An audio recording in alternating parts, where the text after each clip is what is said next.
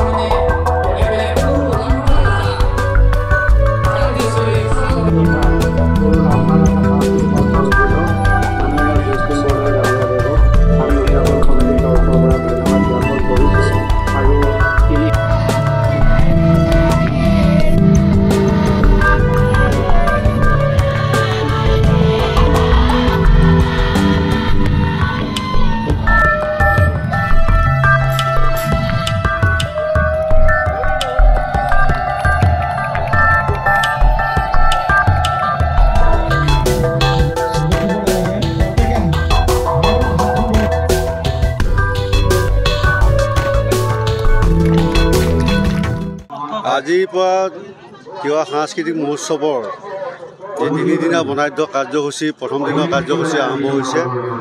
প্ৰথম দিনৰ যি কাৰ্যসূচী কাৰ্যসূচী ইতিপূৰ্বে পাঁচটাকৈ কাৰ্যসূচী সমাপন কৰা হ'ল। ইয়াৰ পিছত আছে তিৱা সাংস্কৃতিক মঞ্চ উদ্বোধন।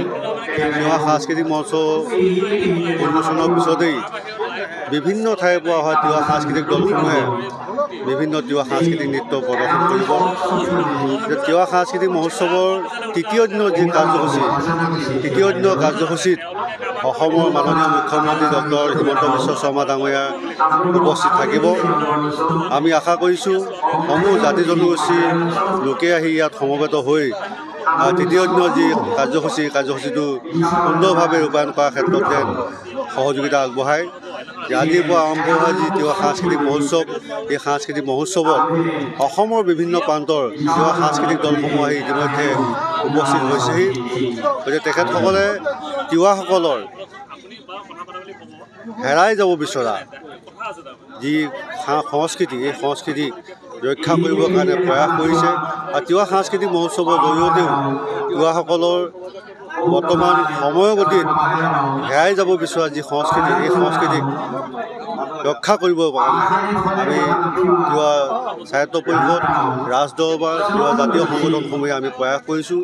সমূহ জাতি জনগোষ্ঠীৰ লোকসকলক আমি আহ্বান কৰিছোঁ সকলো সহযোগ আৰু সহযোগিতাৰ জৰিয়তে তিৱা যি তিনিদিনীয়া বনাঢ্য কাৰ্যসূচী সাংস্কৃতিক মহোৎসৱ এই সাংস্কৃতিক মহোৎসৱটো যেন আমি সুন্দৰভাৱে ৰূপায়ণ কৰিব পাৰোঁ তিৱা সাংস্কৃতিক মহোৎসৱৰ অৰ্থাৎ তিৱা ভাষাত তিৱা কান্তিচুৰী খাম পাৰ দুহেজাৰ চৌবিছৰ আজি প্ৰথম কাৰ্যসূচী ইতিমধ্যে সুন্দৰভাৱে অতিবাহিত হৈছে আৰু এই প্ৰথমবাৰৰ বাবে মৰিগাঁৱৰ মাজমজিয়াত মৰিগাঁও সদৰত আমি তিৱা কান্তিচুৰী খাম পাৰ আমি আয়োজন কৰিছোঁ।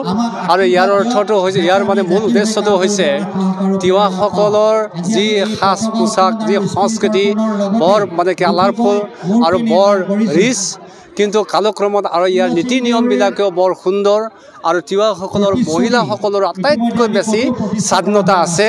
কালক্ৰমত এই বিভিন্ন নীতি নিয়মবিলাক তিৱাসকলৰ আৰু সাংস্কৃতিক দিশবোৰ বিভিন্ন কাৰণত সামাজিক কাৰণত ধৰ্মীয় কাৰণত অৰ্থনৈতিক কাৰণত প্ৰায় লুপ্ত হৈ গৈছে আৰু লুপ্ত হ'বলৈ ধৰিছে। গতিকে আমি নৱপ্ৰজন্মসকলে দেখিছোঁ যে ক্ৰমান্বয়ে এনেধৰণে লুপ্ত হৈ যায়। তেতিয়া তিৱা জাতিৰ ভৱিষ্যতে একেবাৰে মানে কি অন্ধকাৰ হৈ আছে।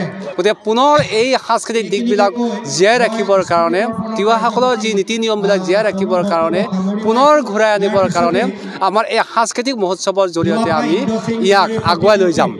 গতিকে আশা ৰাখিছোঁ নিশ্চিতভাৱে ইতিমধ্যে সফল ৰূপায়ণ হৈছে সফল ৰূপায়ণ হ'ব আৰু ইয়াৰ জৰিয়তে আমি আমাৰ হেৰুৱা উন্নত যিবিলাক সাংস্কৃতিক দিশ ভাষা সংস্কৃতি সাজ পোছাক আমি ঘূৰাই আনিব পাৰিম। ইতিমধ্যে গাঁৱে ভূঞে ইয়াৰ সবল প্ৰচাৰ হৈছে আৰু ৰাইজে আঁকোৱালি লৈছে। আশা ৰাখিছোঁ এই ধৰণৰভাৱে তিনিদিনীয়া কাৰ্যসূচী আজি প্ৰথম দিন আৰু অহাকালি ত্ৰিছ তাৰিখ আৰু একত্ৰিছ তাৰিখ।